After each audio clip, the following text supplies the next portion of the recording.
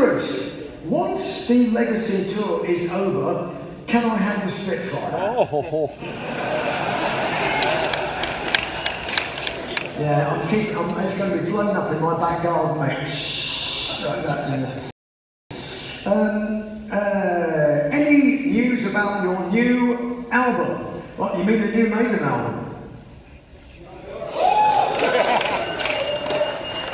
No, I'm kidding. No, not yet. Give it, not yet. That's going to be fucking what uh, that was social media. I'm sure you albums. Get me? No, no, no. You're some touring to do first before we do anything like that, you know. But uh, no, the, I, I'm. It's only been 14 years since the last solo album, right?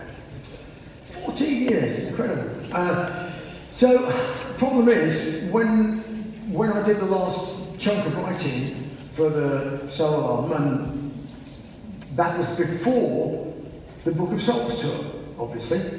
So that was, you know, uh, 2015, 20, 2014 or something. Then 2015, we made the album. In 2016, I had throat cancer. And in 2017, we played catch up to all the shit that we hadn't had the chance to do before. And then 2018, 19, um, this stupid ass pandemic decided to fuck everybody up. And there was nothing he could do then. So it's, you know, the idea was that the solo album should have been done like uh, four or five years ago. But it wasn't for obvious reasons. So now we're revisiting it. I get done with these spoken word shows. I'm going back to LA and we are working on it uh, for three weeks. And then I could be working with Maiden, and Roy is going to be working with the instrumental parts of it. So eventually, hopefully, this year or early next year, we should have it finished. When it's going to go out, that's another question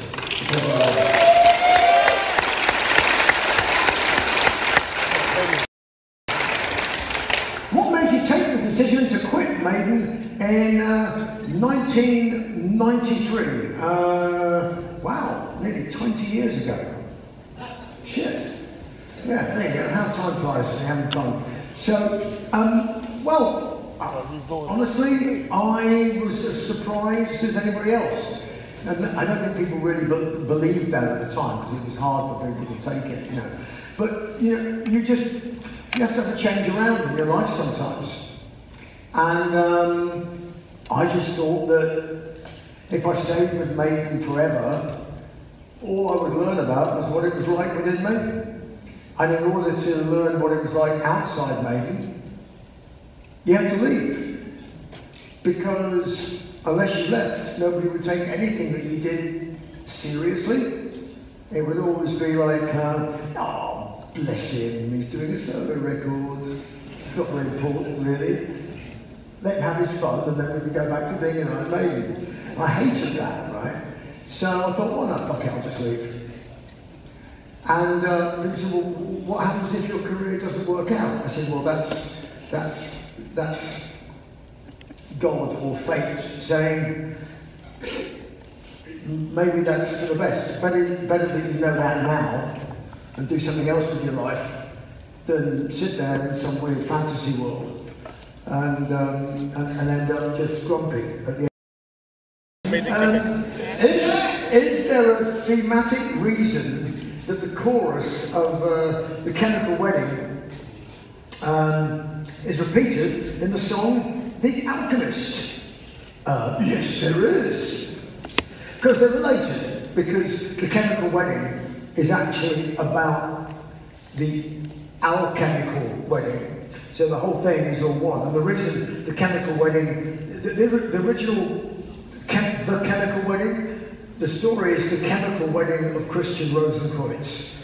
And that was a sort of a legend about this guy, Christian Rosenkreutz, who legend, allegedly was like a, um, an occult, sort of like adept in the 15th, 16th century, 17th century, whatever.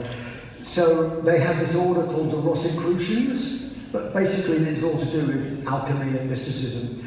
And the idea was that William Blake used a lot of the imagery um, in his poetry and his imagery.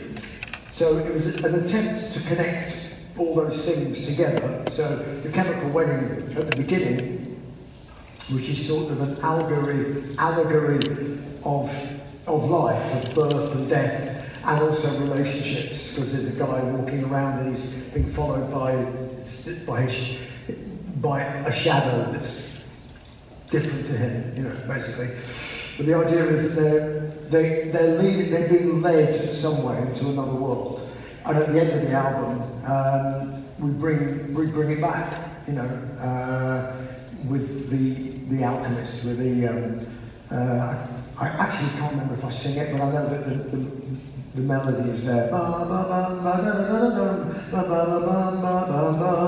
the end, it's just uh, done melodically, but not, uh, not vocally at the end.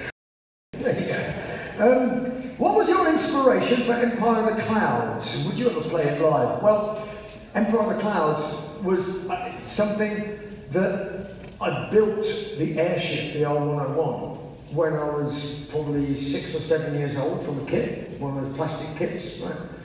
Maybe I was a bit older. But no, I was pretty. I was pretty young when I built it, and there, there was a, the kit. We had the mast and everything, and um, and everything else. In actual fact, the R101's sister ship, don't know if you know this, uh, the R100 uh, flew to Canada and back successfully and spent a whole week touring around Canada uh, and had a mast built for it, for the, the empire of the clouds going around at Saint Hubert down the road. Oh. So uh, a bit of trivia for you.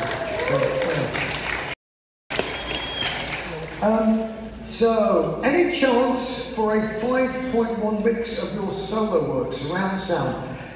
Strangely enough, um, we were talking about not so much remixing the old stuff, but it's not a bad idea. But we were thinking of mixing this new record regular mix, but also doing a special mix for kind of like video gaming type stuff for all the um, environment that people like to do there. So we've got a guy uh, teed up for doing that, um, which should be kind of cool.